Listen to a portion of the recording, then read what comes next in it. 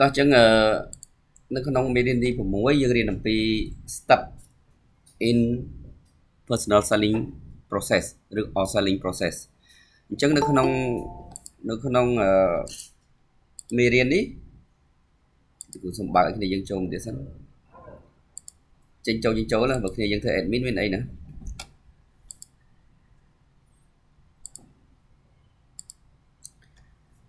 អញ្ចឹង នៅក្នុង step in personal selling or selling process មានន័យថាក្នុងនាមយើងជាបុគ្គលិកផ្នែក sale តើយើងត្រូវធ្វើអីខ្លះណាអញ្ចឹងបើបើមានសំណួរសួរថា step in personal selling process នេះគឺយើងមាន step ពីនេះមកណាទីមួយគឺ projecting or and qualifying projecting and qualifying លោកគ្រូបើកទៅក្នុងនេះវាមាន detail ជាង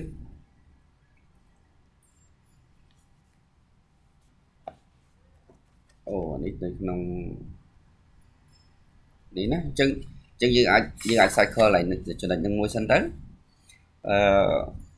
អញ្ចឹង step របស់ personal selling នេះយើងគិតតាំងពី prospecting and qualifying qualifying រហូតទៅដល់ follow up follow up អញ្ចឹងលោកគ្រូបញ្យល់ត្រួសត្រាសទី1នៅក្នុងដំណាក់កាល prospecting and qualifying គឺជាដំណាក់កាលដែលយើង identify identify who is our potential customer អញ្ចឹងអឺមុននឹងគាត់ខ្លាយជា customer គាត់នៅជាគេហៅថា prospect prospect អញ្ចឹង prospect ហ្នឹងគឺយើងដំបូងទីយើងមានតែបញ្ជីឈ្មោះពួកគាត់ទេ យើងអត់ទាន់ដឹងថាគាត់អាចជា customer យើងឬក៏គាត់តែជាអ្នកចង់បានព័ត៌មានពីយើងប៉ុណ្ណោះណាអញ្ចឹងយើងអត់ដឹងទេអញ្ចឹងនៅក្នុងដំណាក់កាលទី1ហ្នឹងគឺយើងត្រូវ identify នរណាខ្លះដែលយើងត្រូវទៅ visit គាត់នរណាខ្លះដែលយើងត្រូវទៅទៅទៅទៅ visit គាត់នៅពេលដែលយើងទៅ visit គាត់តាមរយៈ conversation ដែលយើងជួបគាត់ដែលយើងប្រស័យតាក់ទងជាមួយគាត់ហ្នឹងគឺយើងអាចអាច identify បានអាច identify បានថាតើ next step យើងធ្វើយើងគួរធ្វើអីទៀតជាមួយជាមួយគាត់ណាយើងគួរធ្វើអីទៀតជាមួយពួកគាត់យើងគួរទុកគាត់ម្លែកឬក៏យើងគួរចម្លងគាត់ទៅចូលក្នុងបញ្ជីអតិភិប ដែលត្រូវតាក់ទងនៅក្នុងពេលបន្តបន្តទៀតណានឹងទី1ហើយទី2មុននឹងយើងទៅជួបពួកគាត់គឺយើងមានជំហានមួយទៀតគេហៅថា pre approach pre approach នឹងគឺមានន័យថាយើងព្យាយាម learn as much as possible about customer យើងត្រូវស្គាល់ពីគាត់ឲ្យបាន ច្រើនតាមដែលអាចធ្វើទៅបាន យើងស្គាល់អំពីនរណាគេជា supplier របស់គាត់ណា យើងអាចស្គាល់អំពី background របស់គាត់គាត់នៅក្នុង business ហ្នឹងរយៈពេលប្រហែលឆ្នាំហើយនរណាគេជាអ្នកផ្គត់ផ្គង់ឲ្យគាត់ហើយចរិតលក្ខណៈរបស់គាត់ហ្នឹងគាត់ជាមនុស្សរបៀបម៉េចគាត់ជាមនុស្សដែលសមត្ថថ្មីប៉ុន្តែមកចាត់ក្នុងការងារឬក៏គាត់ជាមនុស្សដែល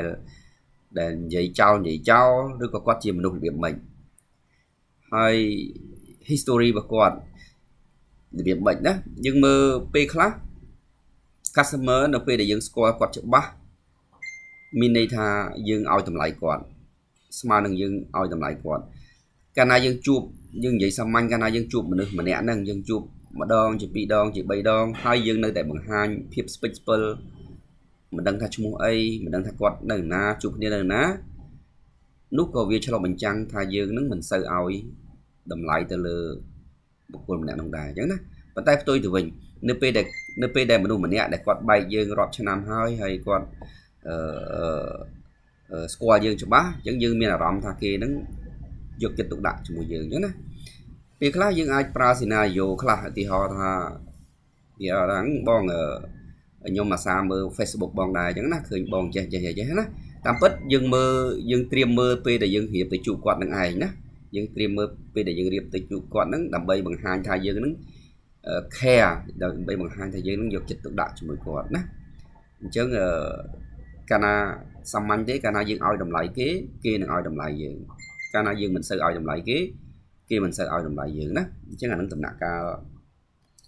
ដំណាក់កាលទី2ដំណាក់កាលទី2គឺ pre approach ហើយសម្រាប់ដំណាក់កាលទី3គឺ approach គឺ approach គឺដំណាក់កាលដែលយើង ជួបណាគឺវិធីសាស្ត្រដែលយើងត្រូវជួបឬក៏ដំណាក់កាលដែលយើងជួបអញ្ចឹងក្នុងដំណាក់កាលនេះយើងមានយើងមានយើងមាន keyword មួយដែលយើងចង់បានគឺ make relationship make a relationship អញ្ចឹងក្នុងដំណាក់កាល approach នេះអឺធ្វើម៉េចឲ្យយើងមានឱកាសទៅជួបគេម្ដងទៀតអញ្ចឹងបើសិននៅក្នុងដំណាក់កាល approach នេះយើងបាន break relationship មានន័យថាយើងអត់មានឱកាសទៅជួបទៅជួប ទៅជួប buyer ម្នាក់នឹងម្ដងទៀតទេណាអញ្ចឹងកន្លែងហ្នឹងគឺប្រយ័ត្នប្រយែងមែនទែននៅក្នុងដំណាក់កាលដែលយើងជួបភ្ញៀវធ្វើម៉េចបន្សល់នៅបន្សល់នៅ relationship បន្សល់នៅ relationship បន្សល់នៅ relationship ដើម្បីផ្ដល់ឱកាសឲ្យយើងនឹងអាចទៅជួបគាត់នៅពេលក្រោយទៀតបានអាចជួបគាត់នៅពេលក្រោយទៀតបានណាអញ្ចឹងកន្លែងហ្នឹងយើងមានពាក្យមួយគេហៅថា first impressions គឺ first impression is very important ណាគឺ គឺគឺការជួបដំបូងហ្នឹងគឺគឺសំខាន់មែនទែនគឺសំខាន់មែនទែនអញ្ចឹងអឺយើងត្រូវយើងត្រូវនេះ pre approach យើងគួរត្រៀមលក្ខណៈអីខ្លះនៅក្នុងដំណាក់កាល pre approach នេះយើងគួរត្រៀមដំណាក់ខ្លះដំណាក់អីខ្លះដំណាក់យើងគួរត្រៀមចំណុចអីខ្លះតាំងពីចំណុចដែលយើងត្រូវស្គាល់ផលិតផលខ្លួនឯងឲ្យច្បាស់យើងស្គាល់ដៃគូប្រកួតប្រជែងយើងឲ្យច្បាស់ហើយនឹងយើងស្គាល់អតិថិជនរបស់យើងឲ្យឲ្យបានច្បាស់ ដើម្បីមានភាពងាយស្រួលមកដល់ដំណាក់កាល approach ហើយនៅក្នុងដំណាក់កាល approach ហ្នឹងគឺពេលខ្លះយើងអាចប្រើវិធីសាស្ត្រមួយគេហៅថាគេហៅថា reference reference powers ទីហោថាហេតុអីមកយើងស្គាល់គាត់អញ្ចឹងណាអញ្ចឹងយើងបើសិនជាយើងដឹងថាអ្នកណាម្នាក់ដែលគាត់ទុកចិត្តដែរអ្នកណាម្នាក់ដែលគាត់ឲ្យតម្លៃដែរអញ្ចឹងយើងយើងយើងអាចរកឱកាសដើម្បីជួបគាត់ ដោយយើង reference ទៅតាទៅទៅលើបុគ្គលអ្នកហ្នឹងអញ្ចឹងណាអញ្ចឹងទីមួយយើងអាច reference ទៅលើបុគ្គលហ្នឹងឬក៏ទីពីរយើងអាច reference ទៅលើទៅលើ buyer ផ្សេងផ្សេងទៀតដែលដែលដែលដែលដែលមានលក្ខណៈស្ដាប់ប្រហាក់ប្រហែលឬក៏ស្តៀងទៅគាត់អញ្ចឹងណាឧទាហរណ៍ថាខ្ញុំក៏ធ្លាប់ផ្គត់ផ្គង់ឲ្យក្រុមហ៊ុន A ក្រុមហ៊ុន B អញ្ចឹងណាអញ្ចឹងការដែលយើងព្យាយាមនិយាយអំពី A B ហ្នឹងគឺមានន័យថាយើងព្យាយាមប្រើនៅ reference ប្រើនៅ reference power ប្រើនៅ reference power ដើម្បីដើម្បីឲ្យការចរចាឲ្យការនិយាយ conversation របស់យើងជាមួយ buyer នៅក្នុងពេលនេះគឺវា smooth ណាវា smooth អញ្ចឹងដំណាក់កាលនេះគឺ keyword វាគឺ make relation ណាហើយដំណាក់កាលទី4គឺជាដំណាក់កាលដែលយើង presentations and demonstrations ដំណាក់កាល presentation ណា ជាទូទៅនៅក្នុងដំណាក់កាល presentation នេះបើសិនជាបងអូនជា sales manager បងអូនត្រូវរៀបចំគេហៅថា sales communication process នៅក្នុងចំណុចនេះណាយើងរៀបចំជាជា sales communication process មួយដែលដើម្បីឲ្យ salesman របស់យើងដើម្បីឲ្យ salesman របស់យើងហ្នឹងគាត់ follow អញ្ចឹងនៅក្នុងនៅក្នុងនៅក្នុង sales communication process ហ្នឹងយើងអាចបែងចែកជា3យើងមានសេចក្តីផ្ដើម អឺយើងមានមិនដែរគ្នាយើងនិយាយគេមិញហ៎យើងមានលោកគ្រូចង់សួរថាលោកគ្រូបាន record លោកគ្រូលោកគ្រូ record តាអត់អីលោកគ្រូ record ហើយណាអឺហ្នឹងហើយលោកគ្រូអរគុណអញ្ចឹងនៅក្នុងនេះយើងបើសិនជាយើង sales manager យើងយើងយើងអាចរៀបចំជា sales communication process ដែលក្នុងនឹងមានសេចក្តីផ្ដើមតួសេចតួសេចក្តីហើយនិងសេចក្តីបញ្ចប់អញ្ចឹងយើងរៀបចំ ប្រហែលជា15នាទីដើម្បីឲ្យ salesman របស់យើងនឹងគាត់ follow អញ្ចឹងណានៅក្នុង introduction ចាប់សេចក្តីផ្ដើមគួរនិយាយពីអីនៅក្នុង body គួរនិយាយពីអីនៅក្នុងពេលបញ្ចប់ហ្នឹងគួរនិយាយពីអីអញ្ចឹងណាហេតុអីហេតុអីបានជាយើងរៀបចំអញ្ចឹងយើងដើម្បីឲ្យ salesman របស់យើងហ្នឹងគាត់មានគាត់មាន guideline មួយដើម្បីគាត់មានភាពងាយស្រួលក្នុងការនិយាយមួយភ្ញៀវហើយនៅពេលដែលគាត់ជួបភ្ញៀវជាក់ស្ដែងគាត់អាចបត់បែនពេលខ្លះឧទាហរណ៍ថាភ្ញៀវនឹងគាត់ស្គាល់ហើយ introduction part ហ្នឹងគាត់អាច skip ឬក៏គាត់អាចអឺចូលទៅដល់តួសេចក្តីតែម្ដងហើយតួសេចក្តីកន្លែងណាដែលភ្ញៀវគាត់ដឹងហើយអតិថិជនគាត់ដឹងហើយយើងអាច skip កន្លែងណាយើងគួរនិយាយកន្លែងណាប៉ុន្តែក្នុងនាមយើងជា sales manager យើងត្រូវ at least យើងត្រូវរៀបចំអា sales communication process ហ្នឹងឲ្យទៅឲ្យទៅគាត់ណាឲ្យទៅហើយដំណាក់កាលនេះគឺជាដំណាក់កាលដែលយើងប៉ុនប៉ងណាដំណាក់កាលនេះគឺជាដំណាក់កាលដែលយើងប៉ុនប៉ង ប៉ុនប៉ង turn turn turn customer យើងពី prospect ឲ្យទៅជា customer ណាគឺជាដំណាក់កាលដែលយើងប៉ុនប៉ង turn ពី prospect ឲ្យទៅជា customer កាលណាយើងអត់មានសិល្បៈនៃការនេះយើង turn ណាលោកគ្រូសេតិច turn ពី prospect to customer ណាអញ្ចឹងកន្លែងនេះបើសិនជាយើងអត់មាន អឺអត់អត់អត់បញ្ចូលនៅអា concept ហ្នឹងទេគាត់នៅតែជា prospect អញ្ចឹងគាត់នៅជា prospect មានន័យថាមិនដឹងថាគាត់ទិញយើងឬក៏អត់ទេអញ្ចឹងណាអញ្ចឹងកន្លែងហ្នឹងគឺព្យាយាមធ្វើម៉េចព្យាយាម turn turn ហើយទី1ទី2កន្លែងហ្នឹងគឺព្យាយាមធ្វើម៉េចព្យាយាម solve solve solve customer problem កន្លែងហ្នឹងណាព្យាយាមព្យាយាម solve customer problem មានន័យថាពេលដែលយើងទៅជួបគាត់ គឺជាការពិតគឺយើងមានផលប្រយោជន៍ហើយប៉ុន្តែត្រូវបង្ហាញថានៅពេលដែលនៅពេលដែលគាត់ make deal ជាមួយយើង គឺគាត់មានផលប្រយោជន៍ផ្សេងទៀតពីពីអ្វីដែលគាត់បាននឹងកំពុង make deal ជាមួយនឹង current supplier របស់គាត់ណាអញ្ចឹងគឺកន្លែងហ្នឹងគឺជាយើង solve នៅ problem ហើយនឹងមួយទៀតគឺយើងព្យាយាមប្រើប្រាស់នៅគេហៅថា listening skill របស់យើង listening skill listening skill របស់យើងណា ជាពេលខ្លះកន្លែងហ្នឹងគឺជាឱកាសកន្លែងហ្នឹងគឺជាឱកាសដែលយើងដែលយើងទទួលយកនៅព័ត៌មានពីដៃគូប្រកួតប្រជែងរបស់យើងពេលខ្លះយើងអាចដឹងពីព័ត៌មានលម្អិតពីដៃគូប្រកួតប្រជែងរបស់យើងហ្នឹងនៅក្នុងនៅក្នុងដំណាក់ដំណាក់កាលទី4នឹងឯងណាដំណាក់កាលទី4នឹងឯង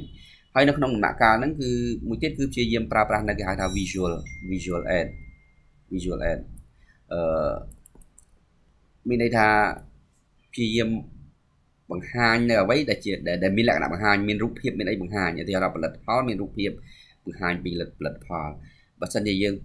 ប្រាប់ថា sale របស់យើង grow របៀបម៉េចយើងមាន graphic សម្រាប់បង្ហាញអីចឹងទៅយើងមាន visual aid ដើម្បីជា proof មួយរឹងមាំដើម្បី support support ការនិយាយរបស់យើងណាយើងយើងដឹងហើយការនិយាយរបស់មនុស្សយើងមាន3ប្រភេទទី1និយាយឲ្យត្រូវពេលវេលាទី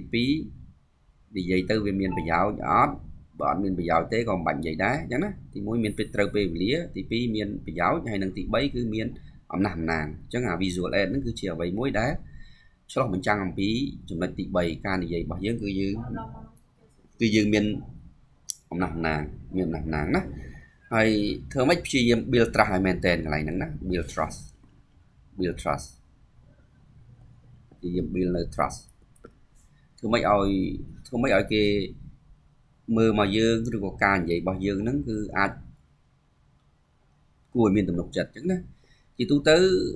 ជាទូទៅគោលបំណងរបស់ salesman ដែលជោគជ័យគឺមិនត្រឹមតែ turn ពី prospect ទៅ customer ប៉ុណ្ណឹងទេគោល salesman ដែលជោគជ័យគឺ turn prospect ឲ្យទៅជា customer and turn customer to be friend to be friend នេះគឺជានេះគឺជា នេះគឺជាគោលដៅចុងក្រោយរបស់ salesman កម្ពុជា salesman គឺអាច turn ពី prospect ឲ្យទៅជា customer and then turn from customer into friends into friends អញ្ចឹងកាលណា to friend ហើយបញ្ហាយើងអវិជ្ជមានក្តីបញ្ហាយើងមានបញ្ហាលើសលុះខ្វះខាតកន្លែងណាគឺគេព្យាយាម advice របស់យើងវិញកាលណាយើងនៅកាលណាគាត់នៅត្រឹមតែជាដំណាក់កាល customer នៅពេលដែលគាត់ happy គាត់ដើរចោលយើងប៉ុន្តែនៅក្នុងដំណាក់កាលគាត់ជា friend គាត់អត់ happy គាត់អាច comment មកយើងណា comment មកយើងវិញហ្នឹងមួយអាហ្នឹងដំណាក់កាលទី4ហើយដំណាក់កាលទី5គឺ handling objections handling objection កន្លែងហ្នឹងគឺសំខាន់ខ្លាំងដែរណាសំខាន់ខ្លាំងដែរ handling objection អញ្ចឹងក្នុងក្នុងករណីដែលភ្ញៀវនោះគាត់ពោពេញទៅដោយ negative negative mode negative mode មានន័យថាការនិយាយរបៀប negative អកប្បកិរិយាគាត់មកលើយើងរបៀប negative ហើយអឺនិយាយរួម everything look like negative អញ្ចឹងតើយើងត្រូវដោះស្រាយរបៀបម៉េចយើងដោះស្រាយរបៀបម៉េចអញ្ចឹងកន្លែងហ្នឹងគឺសម្រាប់ salesman គឺយើងត្រូវត្រៀមចិត្តទុកឲ្យហើយនៅពេលដែលយើងជួបភ្ញៀវគឺ not always give you a, a positive mode អញ្ចឹងយើងជា salesman យើងត្រូវត្រៀមចិត្តឲ្យហើយគឺ មិនមែន100%នៃភ្ញៀវសិតតែផ្ដល់នៅ positive mode មកលើយើងទេណា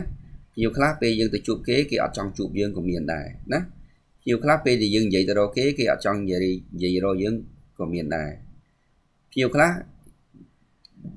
យើងគេនិយាយរកយើងរបៀបដូចយើងនឹង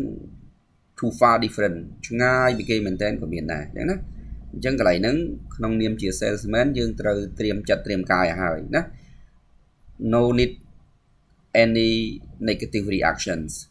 មិនតម្រូវឲ្យមានមិនតម្រូវឲ្យមាន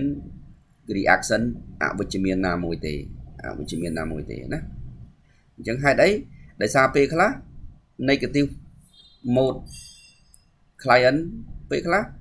បើសិនជាយើងធ្វើ negative reaction ពេលហ្នឹងគឺយើងនឹង loss គាត់តែម្ដងគឺយើងនឹង loss គាត់តែម្ដងប៉ុន្តែយើងព្យាយាម handle object handling objection នៅក្នុង នៅក្នុង the way ណាមួយដែលយើងដែលយើងដែលយើងដែលយើងធ្វើទៅវាត្រូវពេលខ្លះគាត់អាច turn into customer turn into friend in the future ក៏មានដែរណាវាមានវាមានចឹងដែរចឹងកន្លែងហ្នឹងគឺ not recommend any any negative reaction to any negative mode from your target clients your target prospective អាហ្នឹងចំណុចទី5ហើយ ចំណុចទី6គឺ closing sale គឺនៅក្នុងការនិយាយគឺមក selling process ហ្នឹងគឺសំខាន់ចុងក្រោយគឺព្យាយាម closing sale close ពាក្យថា closing sale មានន័យថាបិទការលក់បិទការលក់មានន័យថាឲ្យគេកំងយើងឲ្យគេទិញពីយើងណាឲ្យគេទិញពីយើងហើយនៅក្នុងនៅក្នុង technique នៃការបិទការលក់ហ្នឹងយើងមាន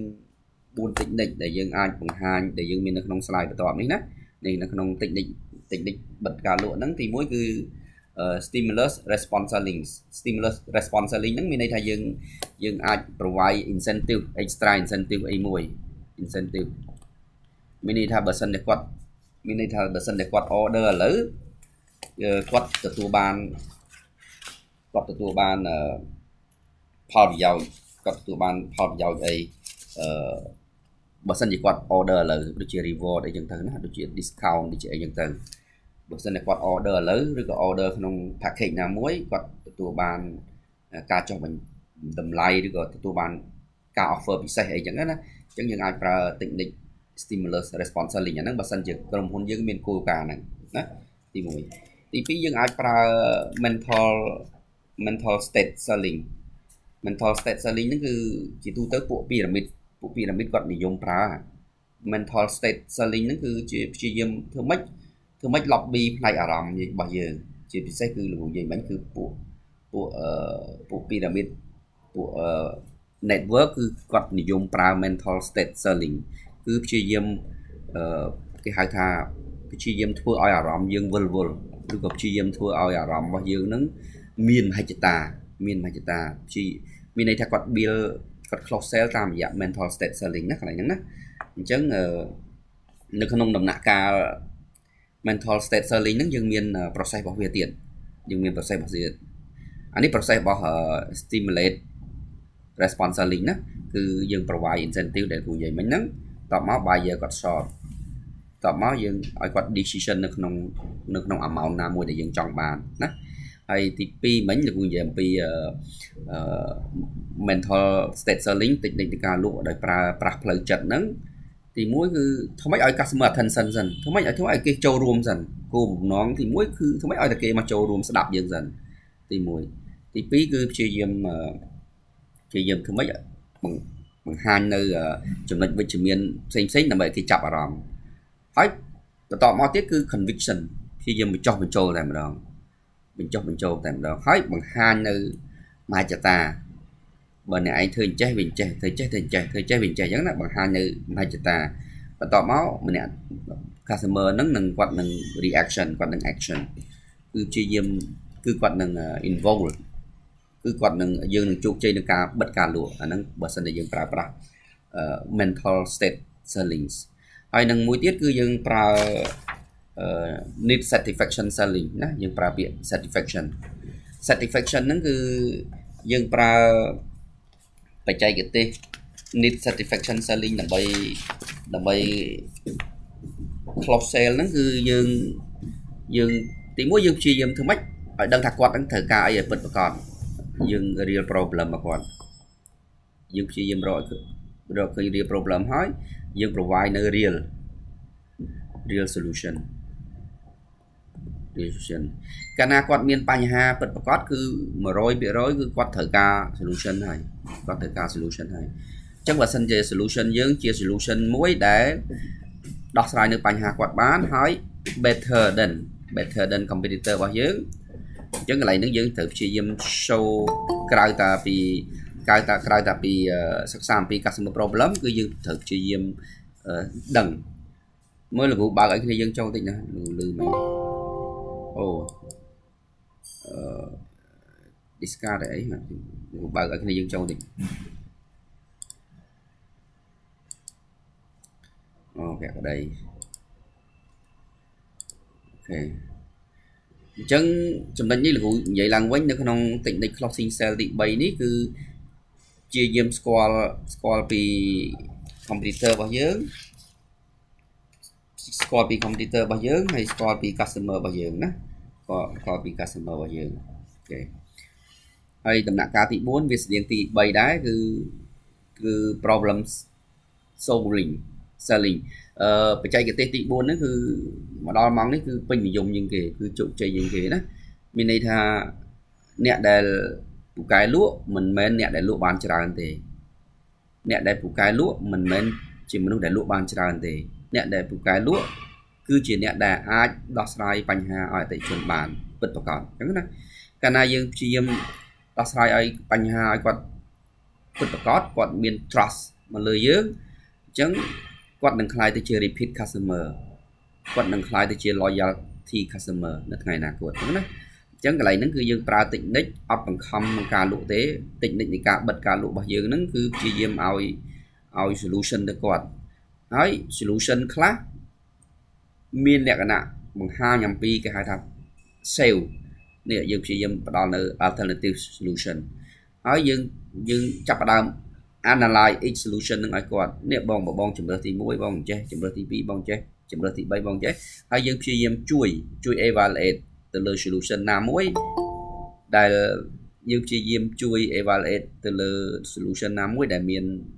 អត្ថប្រយោជន៍ច្រើនសម្រាប់គាត់តែចំណាយតិចចំណាយតិចអញ្ចឹងណាហើយអញ្ចឹងយើងនឹងចុងក្រោយគឺយើងនឹងទទួលបានការបញ្ជាទិញពីគាត់ណាអញ្ចឹងលោកគ្រូសូមបង្ខេតមកវិញនៅក្នុងដំណាក់កាលទីក្នុងដំណាក់កាលទីដំណាក់កាល closing sale នេះយើងអាចប្រើ technique 4ហ្នឹងណាដំណាក់កាល closing sale ហ្នឹងគឺត្រូវប្រើ4ហ្នឹងណាអានឹង4ហើយមួយទៀត មកដល់ម៉ោងនេះគឺមានសារៈសំខាន់ខ្លាំងមែនទែនគឺ follow up គឺ follow up គឺពេលដែលយើង close ហើយមានន័យថាពេលដែលអតិថិជនគាត់ទិញហើយគឺយើងអត់បញ្ចប់ការលក់យើងត្រឹមប៉ុណ្្នឹងទេ គឺយើងជាយាម follow up គាត់ ទៅតាម schedule នៃផលិតផលរបស់យើងផលិតផលខ្លះតម្រូវឲ្យយើង follow up អំពីគុណភាពអំពីរបៀបនៃការប្រើប្រាស់អីចឹងណា3ខែម្ដង6ខែម្ដងមួយឆ្នាំម្ដងហើយ follow up នេះ follow up នេះពីមុន follow up នេះពីមុនគាត់ជាជាផ្នែកមួយនៃ satisfaction ទេពីមុនណាប៉ុន្តែមកដល់ម៉ោងនេះ businessman ឬក៏ entrepreneur មួយចំនួនគាត់បាន turn អា follow up program នេះឲ្យទៅជា business ណាអញ្ចឹងមាន follow up program មួយចំនួនគឺ customer ត្រូវការត្រូវ customer ត្រូវ pay លុយណា customer ត្រូវ pay លុយ អញ្ចឹងលោកនិយាយឡើងវិញ follow up នេះពីមុនយើងប្រើវាដើម្បីដើម្បី certify customer ទេណាប៉ុន្តែមកដល់ម៉ោងនេះ entrepreneur មួយចំនួនគាត់បាន convert អា follow up ហ្នឹងឲ្យទៅជា certify customer ផងហើយឲ្យទៅជា another business line ទៅជា business ថ្មីមួយទៀតដែលអាច make profit បានដែលអាច make profit បានហើយមិនត្រឹមតែប៉ុណ្ណោះគឺយើង gain នៅការហៅថា CRM customer relationship management គឺយើងយើងទទួលបាននៅ customer relationship management ណាអញ្ចឹងនៅក្នុង chapter 6ដែលដែលនឹងត្រូវប្រឡងហ្នឹងគ្រូឲ្យបញ្យលមួយមួយហ្នឹងណាបញ្យលមួយមួយហ្នឹងបញ្យលមួយមួយហ្នឹងហើយអា closing sale 4ប្រភេទនេះយកទៅមើលផងណាមួយមួយហ្នឹងហើយឈប់លោកគ្រូបើកឲ្យគ្នាយើងចូលមួយទៀតវិញអូ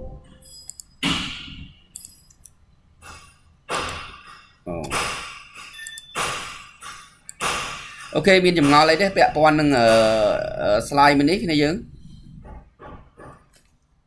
សុធា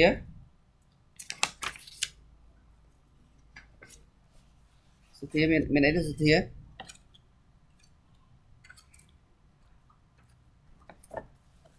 លឺដែរគ្នាយើងលឺហ៎អត់លឺណាស់ទៅបាទអូខេចឹងអាហ្នឹងអត់អីទេណាអូខេហើយនឹងមួយទៀតលោកគ្រូសុំ back ទៅខាងដើមបន្តិច លោកគ្រូចង់ឲ្យមើលចំណុចនេះដែរចឹងមើលឲ្យចំណុចនេះចំណុចនេះណាលោកគ្រូធ្លាប់យល់ច្រើនដងហើយណាអឺប៉ុន្តែលោកគ្រូចង់ confirm ឡើងវិញណាចំណុចអំពី file level of product and file level of value ណាអញ្ចឹងអឺយើងដាក់ផលិតផលរបស់យើងរូបមន្តនៃការដាក់តម្លៃលើផលិតផលមាន3 ទី1ដាក់តម្លៃដោយផ្អែកទៅលើថ្លៃដើមទី1ទី2យើងដាក់តម្លៃដោយផ្អែកទៅលើដៃគូប្រកួតប្រជែងអានេះរូបមន្តទី2រូបមន្តទី3យើងដាក់តម្លៃដោយផ្អែកទៅលើ value អញ្ចឹងឥឡូវយើងមើលអំពី value អញ្ចឹង value មាន3មានមានមាន5 level អាស្រ័យទៅលើ level of product ណា level of product អញ្ចឹងយើងមើលតើ level of product ទាំង5ហ្នឹងមានអីខ្លះ ទី1 level ទី1អានេះ level ទី1 level ទី1គេហៅថា core benefit core benefit ឬក៏ problem អញ្ចឹងមុននឹងចេញជាផលិតផលមុននឹងចេញជាផលិតផលវាត្រូវផ្ដើមចេញអំពី customer problem customer problem មុននឹងចេញជាផលិតផលគឺផ្ដើមចេញអំពី customer problem ណា customer problem ជាបុព្វហេតុនាំឲ្យកើតនៅផលិតផលឬក៏សេវាកម្មចឹងនៅពេលដែលឧទាហរណ៍ថាតំបន់ហ្នឹងនឹងខ្លាយទៅជាតំបន់ទេសចរ អញ្ចឹងយើងគិតថាបើបើសិនជាវាទៅជាតំបន់ទេសចរមនុស្សនឹងត្រូវការភោជនីយដ្ឋាន មនុស្សនឹងត្រូវការអឺអឺកន្លែងសម្រាប់មនុស្សនឹងត្រូវការ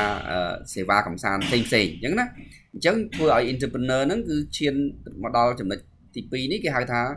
basic product basic product basic product គឺជាផលិតផលដែលដែលយើង serve ដែលយើងអាចបំរើអតិជនគោលដៅយើង ត្រឹមកម្រិត functional benefit ត្រឹមកម្រិត functional benefit ណាអញ្ចឹងសំណួរសួរថាតើយើងគួរ offer product របស់យើងនៅក្នុង level មួយណាចម្លើយគឺអាស្រ័យទៅលើ target customer របស់យើងអាស្រ័យទៅលើ target customer របស់យើងតើ target customer របស់យើងហ្នឹងគឺជាក្រុមមនុស្សជាក្រុមមនុស្សដែលគាត់ enjoy ត្រឹមកម្រិត functional profit benefit ឬក៏គាត់ enjoy expectation benefit ណា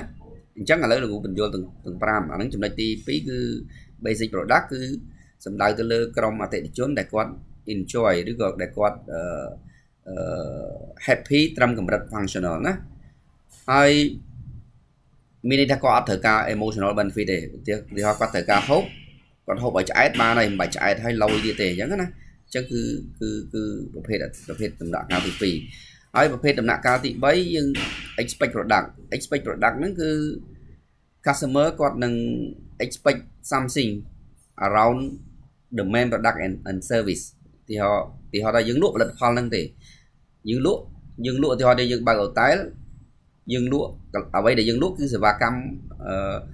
មានក្រែមានបន្ទប់មានពូកមានអីចឹងប៉ុណ្្នឹងទេអញ្ចឹងណាប៉ុន្តែយើង customer គាត់មាន expectation ផ្សេងទៀត around around អា product ហ្នឹងមានន័យថាគាត់ត្រូវការកន្លែងហ្នឹងស្ងាត់ទីហោគាត់ត្រូវកន្លែងត្រូវការកន្លែងហ្នឹងមានអាហារទឹកគាត់ត្រូវការការបត់បត់កម្រាលពូកបត់អីហ្នឹងឲ្យវាចេញរូបរាងអីគួរឲ្យតាក់ទាញឬក៏មានអាងទឹកអាងទឹកមានត្រាំផ្កាត្រាំអីអញ្ចឹងណាឧទាហរណ៍ណាអញ្ចឹងនេះគឺ expected product អញ្ចឹងមកដល់ម៉ោងនេះគឺ សម្រាប់កម្ពុជាយើងលោកគ្រូគិតថាលោកគ្រូ recommend offer ត្រឹមកម្រិតនេះត្រឹមកម្រិត expected product អញ្ចឹងយើងព្យាយាមសិក្សាអំពី expectation របស់ customer របស់យើង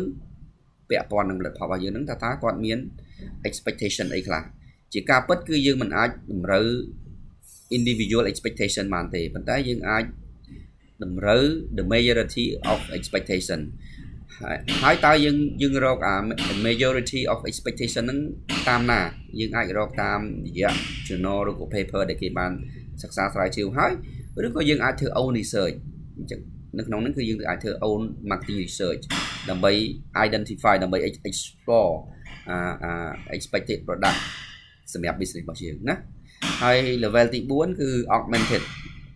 augmented ហ្នឹងគឺមានន័យថា exit ណា exit expectation មានន័យថាវាលើសលើសពីការរំពឹងទុកអញ្ចឹងមានអាជីវកម្មមួយចំនួន ជាពិសេសនៅក្នុងប្រទេសអភិវឌ្ឍនៅពេលដែល every entrepreneur គាត់គាត់ work very well ទៅលើអា expected product ហ្នឹងហើយគឺ entrepreneur មួយចំនួនទៀតគាត់ព្យាយាម take advantage តាមរយៈផ្ដល់នៅអ្វីដែលលើសពីការរំពឹងទុកឲ្យអតិថិជនរបស់គាត់ណាអានេះគេហៅថា augmented product product អញ្ចឹងណាឧទាហរណ៍ដូចដូចអឺ ដូចដូចអូតែលខ្លះគេមានធ្វើ birthday ឲ្យភ្ញៀវដោយភ្ញៀវមិនដឹងខ្លួនក្នុងករណីដែលគាត់ឃើញតែភ្ញៀវហ្នឹងមានថ្ងៃកំណើតចំចំថ្ងៃដែលគាត់ចូលមកគេអីចឹងទៅអាហ្នឹងវាជាអ្វីមួយដែលលើសពីការពឹងទុកដើម្បី build គេហៅថា viral marketing viral marketing ឬក៏ word of mouth viral marketing ហ្នឹងគឺ marketing មេរោគមេរោគហ្នឹងគឺឆ្លងពីមួយទៅមួយឬក៏គេហៅថា viral marketing ឬក៏យើងហៅថា word of mouth លោកគ្រូមានសភៅនឹងមួយណាចាំលោកគ្រូចែកម្លែកអំពីអំពី traction អំពី marketing traction ហើយចំណុចទី5គឺ potential product គឺគឺជាដំណាក់កាលមួយដែលដែល augmented product ហ្នឹងវាคล้ายទៅជា expectation product អ្វីដែលយើងឲ្យគេលើសញយញយញយញយដងវាคล้ายទៅជាការទៀមទាវាคล้ายទៅជា expected វាคล้ายជាអ្វីដែលគេគិតថាគេត្រូវតែទទួលបានណាអា ហ្នឹងចំណុច file level of product អាហ្នឹងមួយទៀតណាលោកគ្រូខ្វែងមួយដែរសិនសំចំណាំអូខេហើយអានេះលោកគ្រូគាត់ថាមិនទេអានេះរបៀបគណនា value គឺស្មើ benefit ចែកនឹង cost ណា benefit យើងដឹងហើយមិញមានមាន functional មាន emotional អតិជនខ្លះគាត់ត្រូវការអារម្មណ៍អត្តប្រយោជន៍ផ្នែកអារម្មណ៍ទៀតណា emotional functional emotional ហើយអតិជនខ្លះគាត់ត្រូវការគាត់ត្រូវការ functional បូកនឹង economic ទៀតណា economic economic benefit economic economic អ្នកខ្លះគាត់ត្រូវការ emotional ប៉ុន្តែ emotional បែប economic អ្នកខ្លះគាត់ត្រូវការ functional functional បែប economic ណា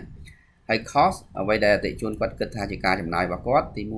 1លុយទី2ពេលវេលា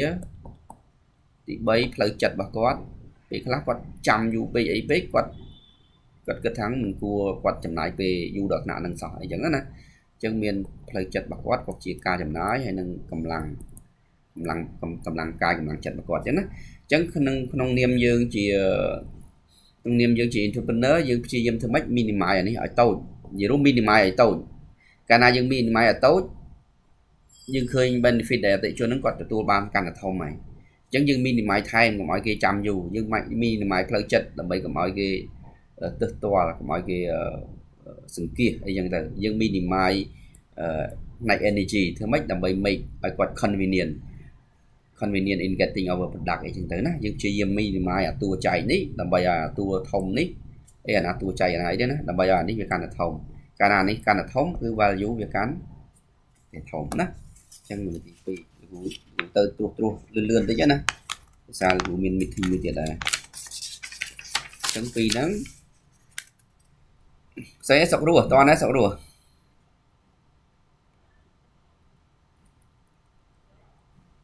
អស់ហើយណាអានេះទី6លោកគ្រូយកពីរហ្នឹងចោះណាពីចំណុចហ្នឹងណានេះមើលខ្លួនឯងអានេះលោកគ្រូអត់សួរទេប៉ុន្តែយើងមើលខ្លួនឯងចោះណាគឺក្នុងក្នុងនាមជា sales representative យើងត្រូវ យើងត្រូវមានអីខ្លះណាមានដូចជា product knowledge appearance របស់យើងការស្លៀកពាក់ការ attitude communication the way ដែលយើងនិយាយអញ្ចឹងណាហើយយើងត្រូវ build relationship យើង time management overcoming obstacle ក្នុងករណីដែលមានការលំបាកអីហ្នឹងគឺយើងអាចអាចអាចអាចទប់ទល់បានណាហើយយើងត្រូវមាន closing skill បងអូនអាចមើលក្នុង closing skill អាចមានលើសពីនឹងទៀតណាក្នុង closing skill អាចលើសពី4នឹងទៀតហើយ follow up skill ណាដែលមាន follow up skill ទៀតអូអានេះអស់ហើយណាអូខេអញ្ចឹងអាហ្នឹងលោកគ្រូលោកគ្រូចប់ថតអាអូអានេះអត់បានថតហងអេមិញលោកគ្រូចុចឯតាមិញ អូ my god សង្ស័យចេញចូលយើងចូលពេកមិញអូខេឥឡូវយើងដល់ chapter 7លោកគ្រូចុចភាសាទៀតអាចុះ chapter 7គូនៅណាគឺយើងលគូផ្ញើអីមាន chapter 7នៅមានទេចាគ្រូចុះលើគ្រូអត់ឃើញ chapter 7នេះ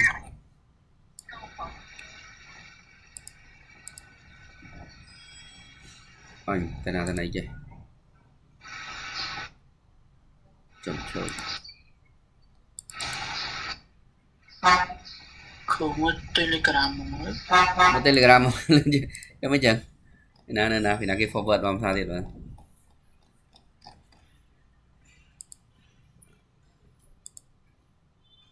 អានេះអានេះមានណា